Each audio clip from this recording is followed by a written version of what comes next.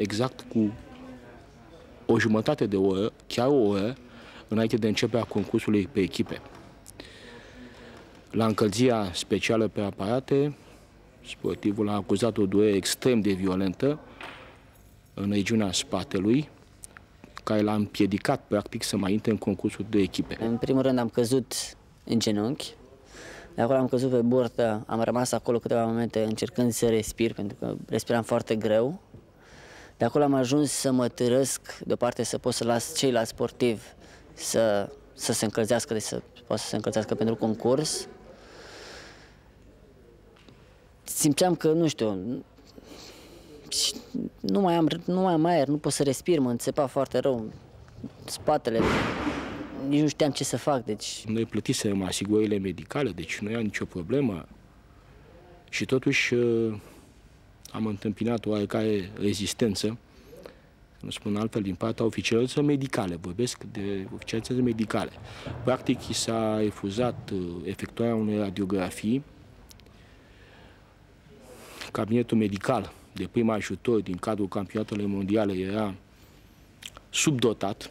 Am încercat pe urmă să-mi pun un brâu, nici de cum. Nu puteam să stau în picioare să respir, am căzut jos, deci am stat mai mult în genunchi. Pe urmă am încercat să mi se pună chelen la spate. Nici așa, durerea la fel persista, nu, nu, nu puteam să rezist, nu, nu, nu știam ce să mai fac de durere. Au spus că acea asigurare era făcută doar pentru cazurile de prim ajutor. Deci nu era vorba de o asigurare pentru investigații. Investigația nu puteam să o facem decât dacă mergeam la un spital. Deci, practic, nu se putea face o investigație destul de uzuală. Radiografie de coloană. Nu mai spun de tomografie sau altceva. Deși, repet, noi aveam asigurarea în ordine. Hârtia cu asigurarea la mine. Singurul ajutor care a fost, a fost din partea doctorului Legliz, care m-a consultat și tot prin ajutorul lui am ajuns să pot să concurez în finală și să mă simt cum mai bine. Cu o zi înainte de, asta a fost spectaculos și aș vrea să subliniez, cu o zi înainte, medicul șef, acest francez, Michel Eglise, i-a făcut sportivului o manevră, mă rog, în termen de specialitate se cheamă o derotație a coloanei, Sportivul a acuzat în continuare dureri foarte violente, dar putând să se miște, lucru foarte important, el nu mai făcut niciun antrenament. În aceste condiții în care sportivul nu a făcut niciun antrenament timp de patru zile, uh, a intrat la încălzire generală și a făcut exercițiul la cal și a luat medalie de argint. Cel puțin, din punctul meu de vedere, din punct de vedere strict medical, e un act de eroism la ceea ce a avut el. Eu, fiind arbitru, am aflat exact în momentul în care sportivii intrau în sală.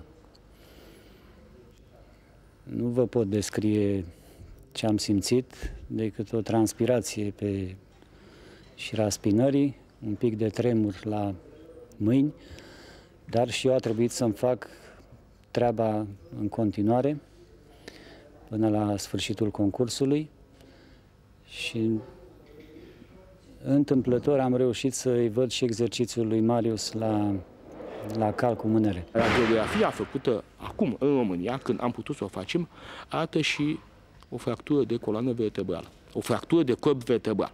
Deci, repet, acest sportiv a luat medalie de argint și, în mod normal, domnul Dan Greco o să vă spună, poate, în mod normal trebuia să ia chiar medalie de aur, aranjamentele de culise l-au privat de medalia de aur, a făcut un registru la cal splendid, în condițiile unei subluxații sau torsiuni de coloană vertebrală cu fractură de corp vertebral. Incredibil. Părerea unanimă a specialiștilor a fost că exercițiul lui Marius Urzică a fost cel mai bun din finala pe aparate. Și asta, după părerea mea, are o foarte mare importanță pentru Jocurile Olimpice din 2000, unde să sperăm că nu va mai fi aceeași brigadă să-l arbitreze pe Marius în finala de la Calcumânere și unde sperăm noi să aurim argintul de la aceste mondiale.